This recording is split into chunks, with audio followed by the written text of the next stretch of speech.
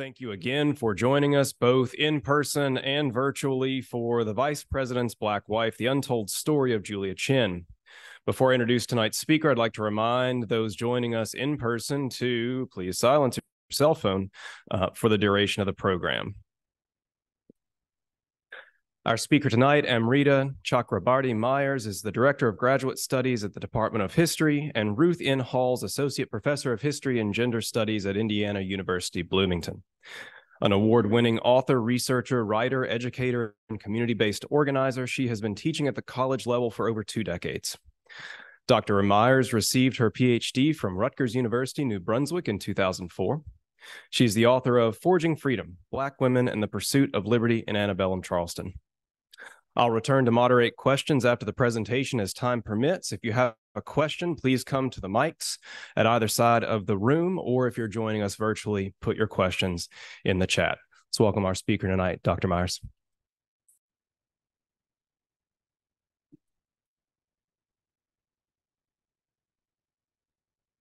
Good evening, everybody. Oh, good evening. I do this with my students. They know that I'm like call and response.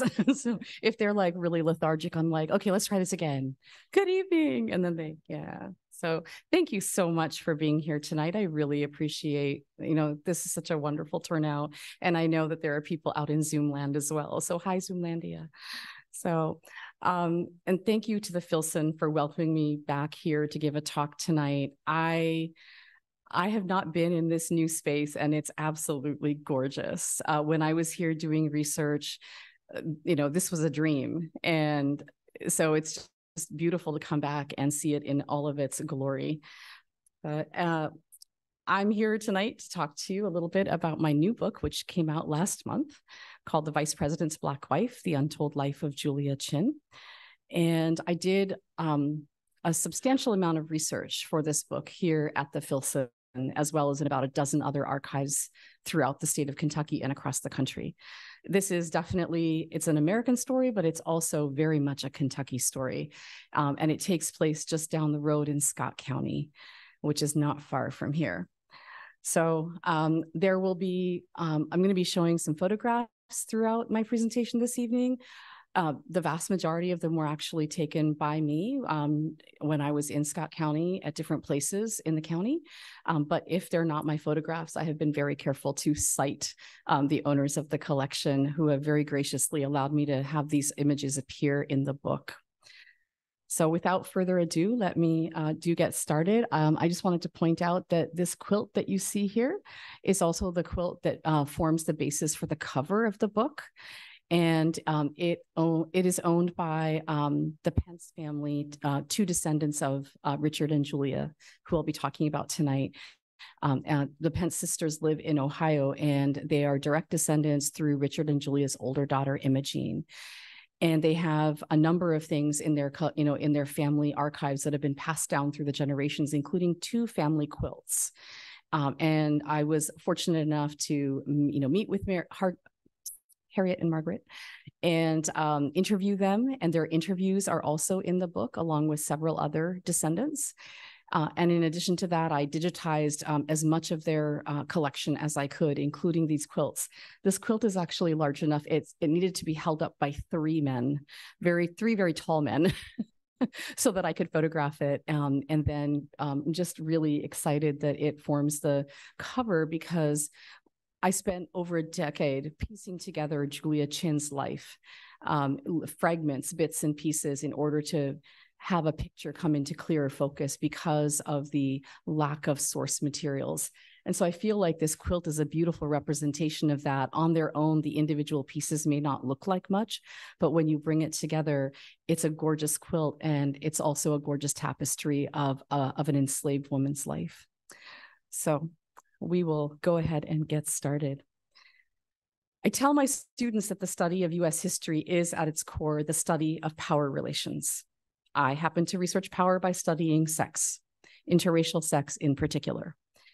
And interracial sex between slaveholders and the enslaved occupies a significant space in the American imagination.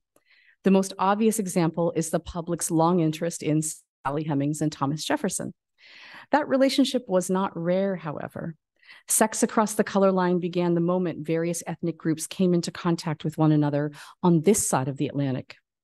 Those interactions were varied and complex, ranging from one night of mutual pleasure to intricate business transactions, from violent assaults to more compliant relationships, with many points in between. What my work seeks to do is illuminate how some Black women were able to use sexual alliances with white men to acquire a modicum of power in the Old South, while simultaneously revealing the limits of that power. How much autonomy did Black women in these unions really have? What were the societal limits of their privilege? Did Black women have any real choice when it came to participating in these relationships? Can the word consent even exist within the confines of coercion? Is this more akin then to compliance, which is something else altogether? What kinds of constraints did Black women in interracial relationships face at home? How did white people respond to mixed race couples and to their children? While no two situations are ever exactly the same, we can draw comparisons between similar partnerships to draw useful conclusions about Black and white power relations in the antebellum era. With that in mind, I turn to the new book. It appears at first glance to be the most classic of American stories. It's the tale of an enslaved Black woman, her two daughters, and the white man who owned them all. It seems simple. You might think, I've heard this story before. A slaveholder holder turned politician had sex with an enslaved woman and had children with her. But this quarter century saga isn't your usual antebellum story, and it had deep ripple effects that went well beyond the 18th and 19th centuries. Indeed, taking a close look at it reveals how the US is still struggling with the effects of slavery and interracial sex today. And so we begin. Family tradition says that Julia Ann Chin was born enslaved and raised on the farm of Robert and Jemima Suggett Johnson of Great Crossing, Kentucky. We don't know exactly when she was born, but former Johnson family slaves state that Julia was only 15 or 16 when her first daughter, Imogene, was born in 1812. That means that Julia was born around 1796 or 1797, making her 16 to 17 years younger than Imogene's father, the Johnson's son, Richard Mentor Johnson. There he is in all of his dashing glory in his younger years. Richard was born in Beargrass, which is now today Louisville, Kentucky, right where we're standing, in 1780. We know that Julia was enslaved because her mother, Henrietta, was also enslaved by Robert and Jemima. The senior Johnsons had moved to Kentucky from Virginia and helped to settle the new Western frontier territory. While Julia and Richard grew up on the same farm, it's unclear how much time they actually spent together growing up. Jemima Johnson supposedly raised Julia to be a house servant and trained her by hand. If so, Julia would have spent a lot of time in the main house, learning how to cook, clean, sew, weave cloth, read and write, as well as acquiring the medical skills for which she was known. She likely lived in the main house starting in 1802 at age six, which is when serious instruction began for most enslaved domestics. Given the age difference between the pair, However, and the fact that Richard supposedly studied law at Transylvania University in 1800 before being admitted to the bar in 1802 and then elected to the Kentucky State House in 1804, it's possible the two had limited or no contact while growing up. Richard then moved on to Washington, D.C. in 1806 after becoming the first native born Kentuckian elected to Congress. Although she began work at an early age, things truly changed for Julia when she became Richard's quote, housekeeper. 1810. That was when her childhood ended for good. Richard inherited a significant amount of property from his father, including 100 enslaved laborers. He then built himself an impressive two story brick mansion with two rows of brick cabins for his slaves. When the house at Blue Spring Farm was finished, Richard's mother came to help him furnish the place. She told Richard that he needed a housekeeper to keep things in order for him, a woman who would oversee everything. Jemima then told Richard that she had already gone down to the quarters and selected, quote, Henrietta's girl for the job. Julia was about 14 years old at this point and, quote, well trained and almost pretty. Those are Jemima Johnson's words. Hmm, well trained and almost pretty. Mrs. Johnson was enthusiastic about Julia's qualities as a potential housekeeper, stating that the girl was, quote, neat and trim, quick in movement, and will not grow up bulky and awkward. She weighs only 90 pounds and will look well around the house, end quote. Now, there's no telling what ran through Julia's mind when she got ready to move into the big house to take up her new post. This is one of the only remaining buildings on Blue Spring Farm today, and it was most likely um, the kitchen, one of the kitchen outbuildings. And Julia would have spent a lot of time directing folks in and out of this building and overseeing food food preparation um, on the plantation. This was as close as I could get to it um, the last time I visited the farm because uh, the pathways are so overgrown and the building itself is not in the best of shape, but it is still standing. Was no small task being a housekeeper, especially for a bachelor politician. With no wife on the premises, it meant managing Richard's large home, overseeing the entire household staff. And for Julia, it would also mean organizing the fabulous parties for which Richard was already known. Housekeepers were powerful persons on large plantations. Julia would carry the keys to the estate, handle deliveries of and payments for supplies and goods, choose the daily food menu, take care of any house guests, organize and oversee work assignments, and handle punishments for the domestic servants, and more. There were also very real risks to being a housekeeper, however. It was common for white men who engaged in sexual relationships with enslaved women throughout the Atlantic world to refer to their Black mistresses as their quote housekeepers, or for their housekeepers to be their mistresses. Indeed, there appeared to be a very fine line between the two. One wonders if this long history of sexual relations between masters and housekeepers was on Julia's mind as she prepared to become Richard's quote, ménagère, as such women were called in French speaking areas like Saint Domingue, which becomes Haiti, and New Orleans. It certainly didn't take long for this to happen. By 1811, when Julia was around 15 and Richard 31, the pair had begun a sexual relationship that would last 22 years and produce two daughters. Archival gaps mean that there are things we just don't know about Julia.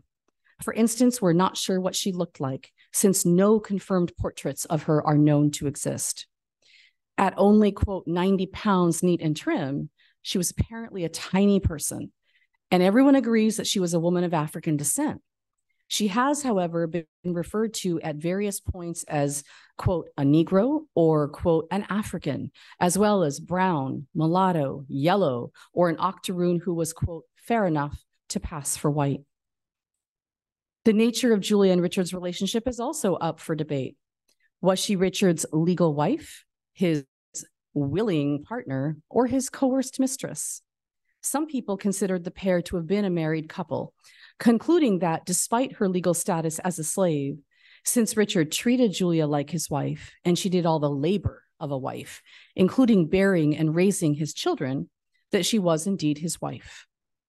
The couple's ex slaves claimed that the pair had an actual marriage ceremony, complete with Julia in a pink silk dress, guests, cake, violins that played the popular wedding ballad of the day, I Will Be True, and a minister named Reverend Hayes. It all sounds very romantic, but given the couple's age difference and her lifelong status as an enslaved laborer, it's doubtful that this was truly a consensual partnership. Additionally, there's no Reverend Hayes to be found in the Scott County census records. The Johnson family also had a long history with Great Crossing Baptist Church. This is one of the only images we have of the original Great Crossing Church building, which was basically no bigger than um, an average family home is today. Uh, it was about 1,200 square feet. Um, this building was destroyed by a tornado in the 1920s. And so the current Great Crossing Baptist building that you can go to today is the one that was built after that. But the Great Crossing Baptist Church records are housed here in Louisville um, at the Baptist Seminary here in Louisville. And those records go all the way back to within eight years of the church's founding in the 1790s. And they are a rich treasure trove. The Johnson family has a long history with Great Crossing Baptist Church because Robert and Jemima Johnson, Richard's parents, helped to found this church. So, why wouldn't Richard ask a minister from this church, which he and Julia attended, to marry them? It would have made the most sense actually for the couple to ask this man, Thomas Henderson, to officiate, given their connection to the man, as we shall see. This picture, of course, is courtesy of the Filson Archives, where which is where the portrait resides. And we're going to come back to Henderson in a little bit and introduce him a, a, a little bit more fully. Now, Captain John Wilson, who was a contemporary of Richard's, claimed that Julia and Richard had, in fact, been secretly married by Henderson. But there is nothing in Henderson's papers, which are also here at the Filson. And those papers are what I was able to use to help write chapters two and three of my book. It would have been impossible without those papers. Henderson's papers, there's no suggestion that he ever married Richard and Julia. We also have no marriage license that's ever been recovered for the pair, although it could have easily been destroyed by fire, which was a fairly common problem of the era. The, the Scott County Courthouse uh, burned two or three times in the 19th century. With three? Yeah, that's what I thought. Thanks, Dr. Apple. Now, whatever the legalities, people clearly believe that Julia and Richard were a married couple. Judge James Y. Kelly, who knew Richard when the judge was a young man, said that, quote, old Colonel Johnson had a mulatto wife, end quote. And Richard himself referred to Julia as his wife. In a letter to a friend, Richard referred to, quote, my bride. And he supposedly released a statement to the press during the election of 1836, which stated that, quote, unlike Jefferson, Clay, Poindexter, and others, I married my wife under the eyes of God. And apparently he has found no objections, end quote. Now, since all three of the men referenced had Black partners or mistresses at some point, we can safely assume that Julia, that Richard was referring to Julia Chinn. Even if the state didn't recognize his union, having outlawed interracial marriage, Richard, it seems, believed that the laws of God trumped the laws of Kentucky. Now, clearly, there are things about Julia that are up for debate. What then can we say about her?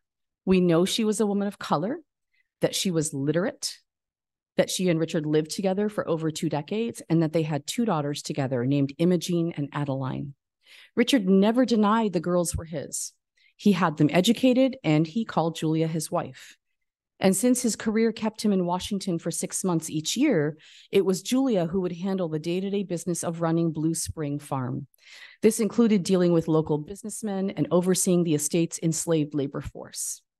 A God fearing woman, Julia also attended Great Crossing Baptist Church, which we just saw up on the screen, where she was baptized in 1828 and she had regular contact with the headmaster and students of a federally funded boarding school for Indigenous boys located at Blue Spring, known as Choctaw Academy. This is the only remaining Choctaw Academy school building also on the Blue Spring farm property today. Known as Choctaw Academy, the school opened in 1825 and it remained in operation until 1848. This is believed to have been one of the dormitory buildings. At its largest, Choctaw Academy had over 200 students in residence. Julia helped to run the school, and it was her labor that helped to make it a success. It's Richard's letters to Reverend Thomas Henderson, who was headmaster of Choctaw Academy, that gives us additional insight into Julia's life. She, Imogene, and Adeline all lived at Blue Spring Farm. It isn't clear, however, if Julia and Richard always slept in the same house. There were several buildings on the original property, including a brick dwelling that Richard referred to as, quote, my great house. It's very possible the couple, couple lived together when Richard was in Kentucky, but Julia also had her own place at Blue Spring, a quote, stone house. In this way, her life mirrored that of Anna Kingsley, Kingsley was the enslaved wife of Florida slave trader Zephaniah Kingsley, and she herself resided in a pretty two story brick and wood frame home with her children, just steps from the farm's main house where her husband Zephaniah lived. Like Anna, Julia's position in her enslaver's life appeared to have earned her the privilege of her own home. A structure large enough to house a three room library, Julia may have negotiated this house as part of her and Richard's relational arrangement. As an enslaved person, however, Julia wasn't legally permitted to own anything. This was never really her house. And unlike Anna Kingsley, Julia was never freed. Slave owners like Johnson made it clear that their plantations and everything on them was their property. Richard told Thomas Henderson that if more space was required for the Choctaw students, he would just take over Julia's house for that purpose. Quote, at any time, I could appropriate that whole house if necessary, end quote. One wonders how Julia felt, knowing she could be evicted from her home by the father of her children whenever he wished. An enslaved woman, Julia walked a fine line between having power and being property. Still, she exercised considerable authority as manager of Blue Spring Farm. Like slave trader Zephaniah Kingsley, Richard's job meant that he was away for months at a time. He actually would have lived in Washington, D.C. for six months out of every year as an, as an officially elected representative. So both men relied on and trusted their Black wives to make sure that things ran smoothly in their absence. Kingsley noted that Anna was trustworthy and capable, and that she could run the plantation as well as Zephaniah could in his absence. Richard, in turn, told Thomas Henderson, who functioned in some ways as overseer of Blue Spring, that Julia would make sure everyone did their job. Thomas would only have to help her if she became ill, just to make sure that the laborers didn't, quote, get out of hand. Holding the keys to the plantation firmly in her grasp, like other plantation mistresses, white and black, Julia Chinn oversaw a variety of matters at Blue Spring. Probably her most important task, however, other than raising her daughters, was directing the farm's enslaved laborers. It was her job to make everyone, quote, do their duty, to behave and be industrious. In fact, she told Thomas Henderson which of Blue Spring slaves, quote, acts well and who among them acts ill. Julia took her concerns to Thomas because he was supposed to, quote, support her authority and punish the laborers who misbehaved. In December 1825, Julia wrote to Richard. Choctaw Academy had just opened, so she was much busier than usual. To add to her troubles, she couldn't get two enslaved laborers named Daniel and Jerry to help her take care of a sick native student.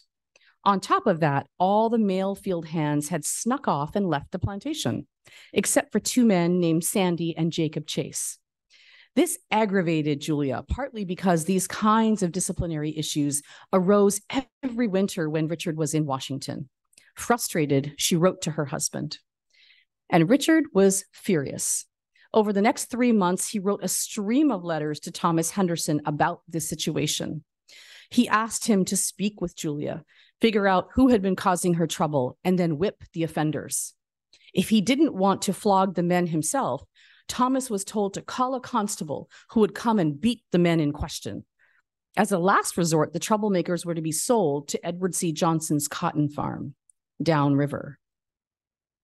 It's clear from even this one incident that Blue Springs laborers did not always respect Julia Chinn's leadership. While many slave mistresses had issues when husbands and fathers were away, Julia's situation was exacerbated by race. In what appears to be a case of while the cat's away, the mice will play, the field hands at Blue Spring pushed the limits of Julia's authority to see just how far they could go when Richard was in Washington. Julia, like many other Southern mistresses, thus had to call on white men, including Thomas Henderson, local constables, and her neighbors to help carry out the disciplinary actions required to enforce her authority, since she was unable and perhaps unwilling to punish the offenders herself. Now, although Julia needed Thomas's help in some ways, he was not in charge of her. Julia wrote to Richard. She was literate, remember. Julia wrote to Richard and kept him informed about what was happening on the farm in his absence. In one of those letters, Julia had complained about Daniel and Jerry. She also let her husband know if Thomas Henderson was doing a good job. In January and February of 1826, Julia wrote that the headmaster had been quite useful of late. He had given Daniel, the problem slave, a stern lecture and was regularly visiting the couple's home to hear Adeline and Imogene's lessons. That's their two daughters. And he had been of great help in making the field hands behave. Richard then wrote to thank Thomas. While probably grateful that the man was keeping up his end of their deal, which was to tutor the couple's daughters and help Julia maintain discipline at Blue Spring in return for his job as headmaster and room and board on the farm. Richard likely also wanted Thomas to know that if he didn't do his job, Julia would let him know. In addition to overseeing the farm's laborers, one of Julia's other significant responsibilities was organizing and hosting the many soirees that were held at Blue Spring. Richard was known for his hospitality. Indeed, when he was home from Washington, he loved to entertain and entertain lavishly. It's probably why he was in debt for much of his life. He, lo- he loved to loan money and have big parties and like play big man on campus, essentially. But he was always in court trying to get people to pay him back.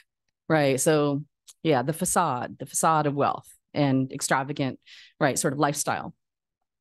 Local folks in the area said that they were treated so well when they went to Blue Spring that they just, quote, love to go. As Richard's wife, Julia got used to planning and hosting events, large and small, often at the spur of the moment.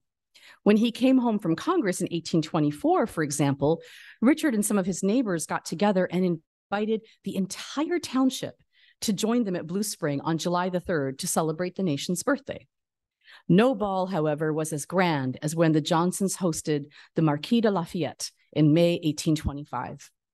Now, Julia was likely excited to meet the Marquis, known as he was for his abolitionist views.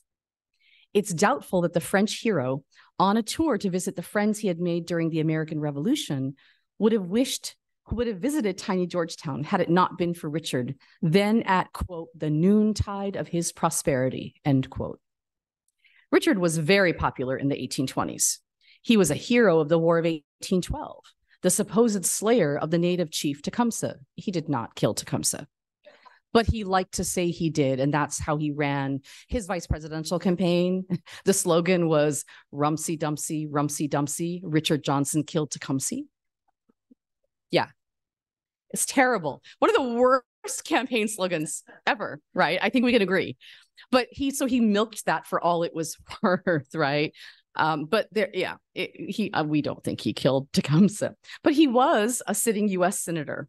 He also belonged to one of the first families of kentucky. Remember his parents had helped found the state and established one of the most important baptist churches in the area. His father robert johnson had signed the kentucky state constitution and all the Johnson men, thanks to Robert's position as territorial surveyor, owned tens of thousands of acres of the best land in Kentucky. And among them, they counted congressmen, federal judges, attorney generals, and one day a vice president of the United States. It's not, exa- it's not an exaggeration to say that Richard Mentor Johnson belonged to his century's version of the one percenters. The gala that took place at Blue Spring Farm for the Marquis was a sight to behold. Well dressed laborers poured out vast quantities of wine and punch, and the sound of music carried into the air as hundreds of people of all classes streamed towards Julia and Richard's home. Every girl in town was there, dressed for the occasion, and each household in the neighborhood had helped to prepare various parts of the feast, since the festivities were on a scale well beyond, beyond the capabilities of just one family. Trenches had been dug by enslaved laborers along an actual branch of the Blue Spring for cooking roasts, and ladies from the area reportedly made a cheese that weighed 500 pounds for the occasion. 500 pounds. Entertainment included a speech from young Richard M. Johnson Jr., the 12 year old nephew of Richard Mentor Johnson, piano performances by, quote, certain female guests, and exhibitions by students from Choctaw Academy. When Lafayette left Blue Spring that day, quote, he entered his carriage amidst the hearty greetings of a large assemblage of citizens who had gathered to take their last leave of him, end quote. Now, most of the work for this feast was done, obviously, by the enslaved house staff at Blue Spring Farm. And it was Julia Chinn who oversaw the entire event and made sure that everything was prepared perfectly, given her role as, quote, the chief manager of the domestic concerns of the house, end quote. And it's almost certain that Julia and her daughters met the Marquis during his visit to their home.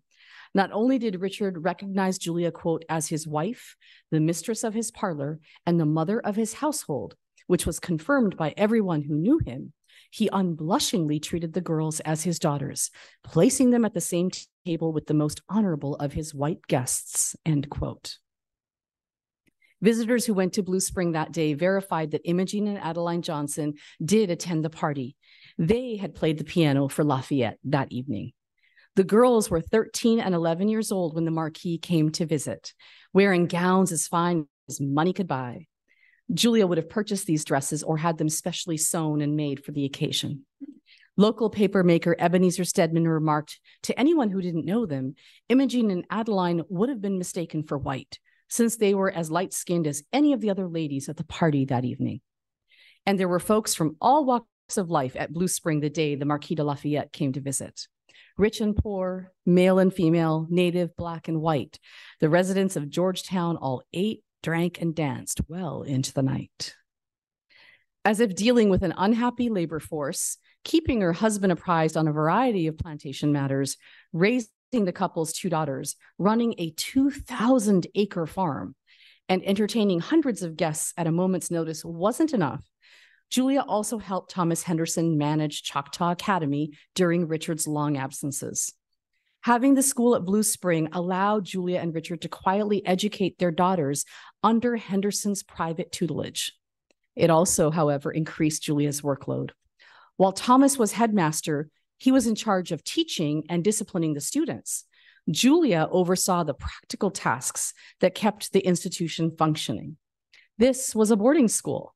Julia and her helpers, meaning the enslaved laborers she oversaw, had to ensure that every student was clothed, fed, housed, that their clothing and bed linens were cleaned, their rooms maintained, and that they remained healthy. This was hardly a small job. There was a reason that Julia had developed a reputation for being, quote, the chief manager of the domestic concerns of the house. Raising two children and running a household for a politician who loved to entertain on a grand scale was no small task. Julia, however, did all this and more, stepping into her new roles at Choctaw Academy with grace. Having been trained as a house servant, she learned she had learned to sew and cook under the apprenticeship of talented Black seamstresses and cooks on Robert and Jemima Johnson's farm. These tools and more were put to use for the new school. For example, it was Julia who organized and directed a team of skilled Black seamstresses at Blue Spring to make the students' clothing. She also looked after their medical issues, being, quote, as good as one half the physicians where the complaint is not dangerous, end quote. Her work in this area was significant. She was so effective, Richard didn't hire a doctor to care for the school students until after Julia had died. It's likely that Julia Chinn acquired her medical prowess, like the rest of her domestic skills, from the Black women on the plantation where she had grown up. Enslaved women passed herbal remedies, knowledge about midwifery, and other medicinal information down from mother to daughter. We can thus assume that Julia learned most of what she knew from other Black women, including her own mother, Henrietta. Now, Julia was also in charge of setting up all of the students' beds before they arrived. This included buying coarse linen from William Johnson's store in town to make the bed ticks or the mattresses, and negotiating with a local craftsman named Campbell to construct the actual bedsteads or frames. While it's unclear how much of the physical labor of mattress making Julia did herself and how much she delegated to the enslaved women of Blue Spring, she apparently saved the household money by, quote, furnishing some things at home with her own labor, end quote. Richard indicated, however, that even if Julia had to, quote, purchase everything, he would not object. Indeed, he stated that, quote, as to everything else, Julia has the means and can accomplish it. Perhaps she may want some aid in having a contract made for the bedsteads for the upper part of the library, end quote. Julia clearly provided a wide variety of labor to make Choctaw Academy run smoothly. What's critical to note is that she had the skill of numeracy, math, and access to Richard's money while he was away, indicating that he trusted her. Stating that if Julia had to purchase everything, I do not object, or that as to everything else, Julia has the means and can accomplish it, Richard's letters suggest that Julia could place orders and enter into contracts with vendors for goods needed at Blue Spring, since rural stores in the US functioned on credit in the antebellum era. This is significant. It meant Julia could draw on Richard's lines of credit, which meant area merchants recognized her right to do so. It meant that in the bluegrass, Julia legally functioned as Richard's wife for the purposes of transacting business. Julia also controlled actual physical currency. She would pay the seasonal white laborers at Blue Spring each year using cash that Richard had left to her. And in a letter to Thomas Henderson in February 1826, Richard noted that, quote, after the 4th of March, I can send the boys, the students, some spending money. Or if they do not choose to wait, Julia will hand you $10 silver for distribution for spending money if they want it. That would be about $300 today in terms of the rate of inflation. Not only was Julia able to tap Richard's lines of credit in order to purchase materials for both the school and their household, then she also had access to and distributed cash to the farm's white employees and the academy's headmaster. It's very telling that Thomas, a white man who had known Richard for years and who was the school's headmaster and a minister, he was one of the rotating ministers at Great Crossing Baptist Church. He was not sent this money directly. Instead, he had to ask Julia, an enslaved woman of African descent, but a woman who was clearly the mistress of the plantation, for these funds. Richard Johnson appears to have trusted Julia Chinn, and he also knew that she was a savvy businesswoman. That did not mean that her life was restful. Being the wife of a politician from one of Kentucky's first families did not translate into a life of luxury. The success of Blue Spring Farm and Choctaw Academy were the direct result of Julia's constant work and supervision. She labored long days at the head of a slave force that worked even harder. Her sudden death at age 37 while caring for the school students during a cholera epidemic in 1833 was thus not only shocking, it affected the life of everyone at Blue Spring. Richard certainly came to miss her organizational capabilities. Within months of her passing, letters flooded Choctaw Nation from students at the school, complaining about everything from poor food and clothes to suspect education and dirty living conditions. Overwhelmed, Richard tried to address the concerns and persuade the Choctaw chiefs not to take their sons back home. He stated, quote, I can pledge myself that there is not a day in the year that coffee is not furnished for every boy in the school, and that of the best quality, except during the cholera when there was some derangement in the cooking, owing to the death of the formidable cook and the sickness of others. End quote. Julia, of course, who normally ensured that everything ran smoothly at the school, had been busy nursing everyone during the epidemic. She then fell ill and passed away from cholera herself shortly after Jerry, who was this cook for Choctaw Academy. Two days later, Richard wrote to Thomas Henderson and asked him to make sure that the boys kept their room and clothes clean and tidy. Quote, therefore, you must keep your eyes upon their clothes, and if necessary, you can get Adeline or Parthene, another enslaved woman on the plantation, to furnish, furnish any deficient so as to keep them to look well, and this without exciting other boys and without letting any person know the object. For I have said nothing of these complaints, even to Adeline, his daughter. Perhaps the chiefs may be referring to letters soon after the cholera when matters were deranged, end quote. Clearly, matters were deranged because Julia Chinn, he uses that word deranged or derangement several times. Clearly, matters were deranged because Julia, who had always overseen things at Blue Spring, including the sewing and distribution of clothing to the students at Choctaw Academy, had died. It's obvious, given how things changed after her death, how much Julia had contributed to the smooth running of Blue Spring Farm and Choctaw Academy. Equally clear from the details of her daily routine at Blue Spring Farm is that Chinn had a busy life and that local whites appeared to accept the Chinn Johnson relationship to an extent. Literate, well dressed, exercising oversight over the farm's enslaved laborers, dealing with local vendors, and interacting with the teachers and students of Choctaw Academy, Julia's life looked in many respects like that of other Scott County plantation mistresses. Some of the people she dealt with, like Thomas Henderson, became close colleagues. Other white locals either ignored her marriage to Richard or accepted it to a point, attending the parties she organized, worshiping alongside her at Great Crossing Baptist Church, and doing business with her when Richard was away. You might be thinking to yourself, a fascinating life. True, but Julia Chinn's story is important, not just interesting. A quintessentially American family saga, the story of Julia and her daughters sheds light on how the United States continues to struggle with the effects of slavery in our current moment. While conducting research for my book, I was saddened by how Julia, like most enslaved women, had quite literally been erased from US history. Few people today know her name. The truth is that both Julia and Richard are victims of an ongoing national refusal to fully acknowledge our history of slavery and interracial sex. This has played out in, in various ways over the, over the decades, including a longstanding violent commitment to segregation, the construction of the one drop rule of Blackness, the nation's unwillingness to legally accept the existence of biracial or multiracial persons, and the corresponding inability until recently for people to self identify as biracial or multiracial on government forms and records. All of this is indicative of the US's larger commitment to structural racism, to anti Blackness, and ultimately to white supremacy. The depth of such historical erasure, legal and social, state and familial, was driven home to me when I met some of Julia and Richard's descendants.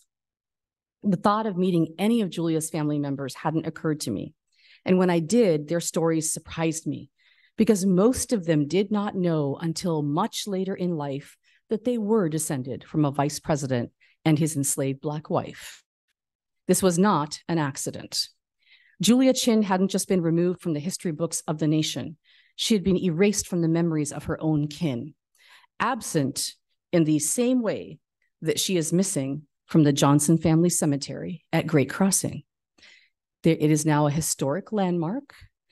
Richard is not buried there. He's buried eh, with a very flashy memorial in Frankfort um, because of befitting his status as an elected official. But all of Richard's family are buried in this original cemetery behind Great Crossing Baptist Church. His parents, brothers, aunts, uncles, but Julia is not buried there. At some point in the early 20th century, most of Julia and Richard's descendants, through her older daughter, Imogene, crossed the color line and they stopped telling their children about their family's lineage. When I asked one white descendant why he thought it had been hidden from him his whole life, he remarked, quote, it's a closeted secret. It's not something people were necessarily proud of. I know it's certainly been hush hush in our family, and whenever it comes up in other families, it is just as hush hush. The white Pences no, not any relation to Mike Pence, in case you're thinking that. the White Pences, descendants of Julia Ann Chinn and Richard Mentor Johnson through their older daughter Imogene, are in many ways your typical American family. As one interviewee concluded to me, if you've been here long enough and you go back far enough, people are, quote, all mixed up together. Native, African, European. This is the Southern story, the American story sex, race, slavery. It's also a story many people want to deny still today. It's why Julia and her daughters, I believe, were written out of the history books and hidden from the memories of their own descendants because it's uncomfortable. Because Richard owned Julia. It's why we don't know to this day where Julia Chinn is buried. I suspect she is on Blue Spring Farm somewhere because it was the policy of the day to bury family members generally on one's plantation. This is a scenic shot of Blue Spring Farm that I took when I was out there. 2,000 acres. The, the main house is gone. The graveyards have disappeared. So we don't know where Julia or her younger daughter Adeline are buried. Imogene is buried just across the way at her family farm that she lived on with her husband, Daniel Pence, and they are buried there in the family graveyard on the property side by side. The sad thing is, is that we have quite literally lost the vice president's wife because Blackness was and still is a stigma to so many people in this country. Because our history of slavery and settler colonial, colonialism has yet to be fully acknowledged.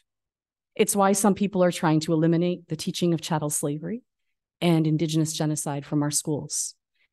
They claim that educating children in critical race theory or CRT is divisive. Let me be clear these people do not know what CRT actually is. And this is not about CRT. It's about controlling the educational and thus the national narr- narrative. It's about the retention of power by manipulating children who are the next generation of white voters. It is about the maintenance of white supremacy. If we want to begin the process of national healing, the stories of women like Julia Ann Chinn and her descendants are what we must embrace. We must face our history, all of it the good, the bad, the ugly. People of color will be the majority of the United States by 2043, one generation from today.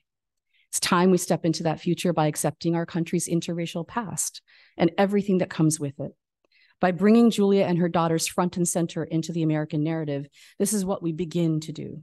By acknowledging who all of our ancestors were and who we are as a nation today, we begin to see and construct a more realistic vision of who we can and hopefully will be. People often speak of reconciliation, of peace, of moving forward. So I say to you tonight as I close, there can be no real reconciliation by erasing our past. And there is no genuine peace without truth. That means a full and honest accounting of our collective, mixed up together, often ugly and painful histories. Justice demands that. Our ancestors demand it. The only way out to the other side then is through. Thank you.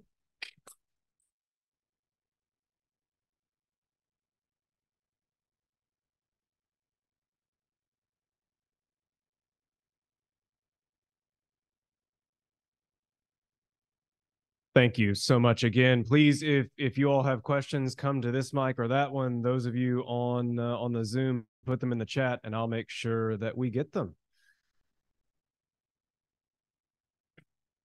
Yes. Uh, what happened to Imogene? Was she freed? So both both Imogene and Adeline, Richard made pathways to manumission and freedom for both of their daughters. Uh, when they came of age, they both um, he arranged marriages for them to local white men from very good families in the area so who obviously knew who they were marrying. There was no secret about it. And he also um, passed over thousands of acres of land enslaved laborers and cash to his daughters and to his grandchildren he divested himself of most of his property before he died by mm. through notarized deeds, transferring this property over to both of his daughters and their husbands. Mm. So the farm that Imogene and Daniel that I mentioned that they lived on and then died on and are buried on, that was land that they received from Richard when they got married. That was mm. his wedding gift to them. Blue Spring Farm was transferred to Adeline, the younger daughter. So Imogene mm-hmm. received her own separate piece of property just across the way, mm. essentially. It was just up the creek um, from, from Blue Spring. And then the home property was given to Adeline and her husband. Wow. Yeah. Mm-hmm. Chapter seven of the book actually talks in great detail about the daughters, the grandchildren, and the descendants today. Um, and the interviews actually are in the introduction and in the conclusion. So I've tried to incorporate because to me this book is as much about the present as it is the past. So i've tried to incorporate as much of the descendant material as i can. Yeah. It's fascinating. Um, but something that uh, i'd like to know a little bit more about would it have been customary for the uh, wife of the vice president to spend time in washington? I mean we don't hear anything about that part of of her husband's life or her life. I mean if, is that so it was information about that. Is yeah. there information about that? Yeah, no, I mean, this their relationship was not a secret. Where that's what makes it so unique in some ways. Unlike Jefferson, Henry Clay, and others who were having similar relationships, they hid these women um, right in the quarters or in other places. And even if people gossiped about it, they never acknowledged them. Richard openly acknowledged Julia and his daughters, but he never took them to Washington, D.C. They held down all of the various business interests and properties and managed everything when he was away. Uh, but when he was in Washington, even though everyone knew about his family, um, he was publicly referred to as a bachelor, and he lived in a boarding house with other elected officials, including some from Kentucky. Uh, so there's no record of Julia and her daughters ever actually visiting him in Washington there the letters refer to the fact that his daughters and Julia are writing to him while he's in DC because they're overseeing everything here while he's away. Yeah. Thank you for that question. I really had the same question, but what was the origin of Chinn, her last name? So it's actually, um, you know, how we hear a lot about people's names being anglicized when they come here, you know, Ellis Island, right? Their names were Ellis Islanded, uh, you know, that sort of a thing. So what happens is that there are lots of Chinns actually in Kentucky, white Chinns. The name actually was originally DeChynne, so D E, and then capital C H Y N N E. So it's like Rebecca De Mornay, for example, right? It's it's an old right English name with Bourbon ties, right? With the the, the French and English, right? Exactly. So DeChynne was then anglicized down to Chinn, and I'm very, I'm almost, I'm very, I'm really, I'm positive that both Julia and her brother Daniel carry the last name Chinn. Um, and I'm fairly certain it's because their whoever their biological father was was most likely a white Chinn from one of these uh, Chinn families in the area. Henry Clay's law partner was actually a Chinn. So and Clay lived right up the road as well. I mean, so it's there's it's there's not a whole lot of folks at this. When we're talking from the 1790s to the 1830s. Um, so that's that's where the Chinn comes from, but that was actually DeChynne, yeah, before it was changed. Yeah, thank you. Um, did Julia ever use the name Johnson or was she referred to by the name Johnson? So Julia always was referred to by the last name Chinn, but her daughters were all were were Imogene Johnson and Adeline Johnson. So their daughters carried the Johnson name. Um, right up until they got married. Um, so Adeline became Adeline Johnson Scott, Imogene became Imogene Johnson Pence, the girls were widely known uh, by their father's last name, but Julia was always known by, and her brother Daniel were always known by the last name of Chinn. Daniel also lived at Bruce Blue Spring. When Julia was transferred over to Blue Spring, um, her brother was transferred along with her. So, um, but we don't think her mother was. So that's, um, but yeah, that's, yeah. Thank you. Mm-hmm. Thank you. Well, you've you've been so kind to show Filson collections and talk about your research experience here, Absolutely. and I, I, love the metaphor of of reconstructing this story like the quilt there um, mm. from all these various uh, bits and pieces. I love um, asking historians the uh, the archival experience question. Did you you know did you have a, an experience doing research for this uh, project where you you know you touched something, you found something, you found a missing piece, um, you know you you had that moment of of transportation um, into uh, into greater understanding or something like it. There are so many moments like that. Um, it's really I love that question. I mean, as much as I find, right, archives, I mean, I love archives. I mean, I'm a I'm a total 19th century scholar in that sense.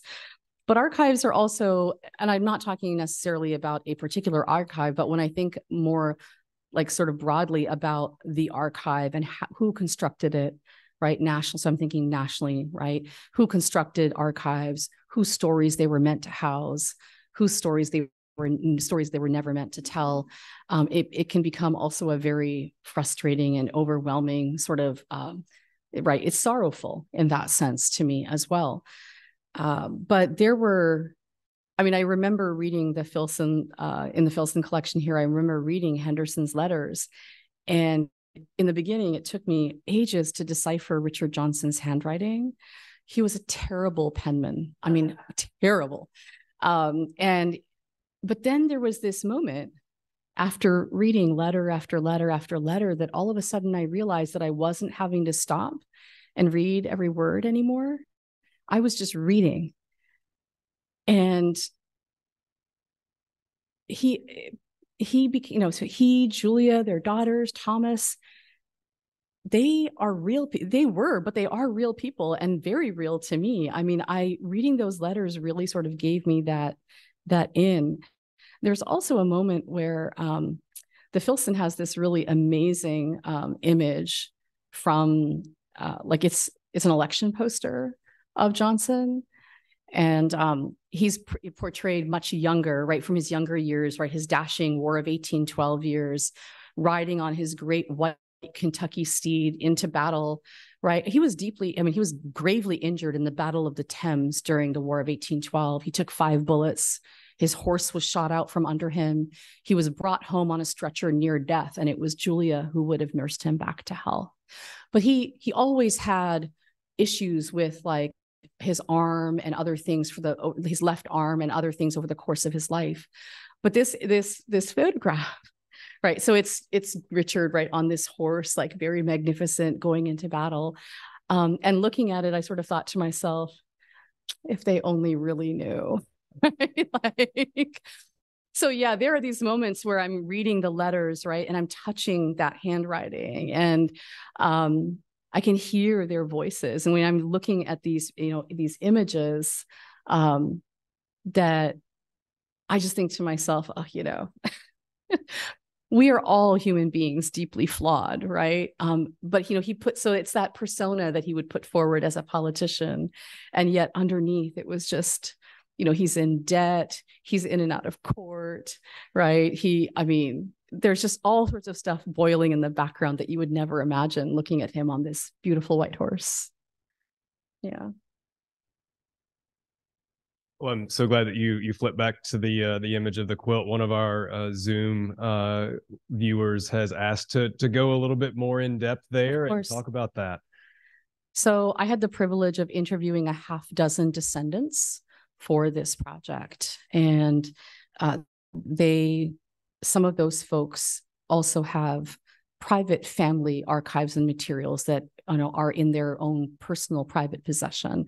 So they're not at places like the Filson or Kentucky Historical Society or the University of Kentucky.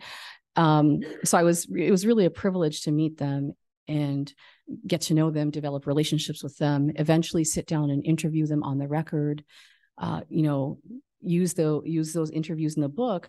But I also um, they opened up their family archives to me. Uh, Brenda Wilford, who lives in Arizona, and then Harriet and Margaret Pence, um, who grew up with the last name Pence, but never knew who they were descended from until they were well, like old, married, had kids of their own right? So they're carrying eh, you know that pence name and had no idea who they were descended from. They live um, in ohio just outside cincinnati. So i sat down with um, brenda i sat down with harriet and margaret i interviewed them but i also they opened up their family collections to me and i digitized and took images of everything that i could um, and there are two quilts that have been passed down through uh, the pence family th- through the harriet and margaret's line of the family um, and these, this is one of those two quilts, and they are enormous. This quilt needed to be held up by three different men in order to stretch it out to its full size and height so that I could photograph it. Um, so it belonged to uh, Julia's grandson, uh, Imogene's son, and um, it's it's been lovingly preserved and passed down all these generations, even though people didn't quite know that you know who who his grandmother was right? Um so there's and a second quilt um that belonged to to daniel to his wife. So i i photographed both of those um and obtained permission. I have a lot of family materials in the book. I received permission to use them, including some images, um, including the image of the quilt, which belongs to the sisters and their family uh, because I thought it was a beautiful representation of Julia Chinn's life. Um, as I had said before, bits and pieces and fragments um, scattered across the country, um, which on their own just don't really seem to make much sense. But you put them together and you can begin to see the outlines of a beautiful life. Um, I mean, this is a this style of patchworking is called a crazy quilt. Um, and again, it's like these mismatched pieces and colors which don't seem to make sense, but then you put it together and it's just it's a stunning piece of art. And so it's um, I thought it was a perfect reflection of Julia's life, and my editor and I pushed the art department very hard to have it as the cover of the book. And I I was very very happy that we were successful in that. Yeah. Well, that's all very well said. Uh, thank you so much again. Can we have another round of applause?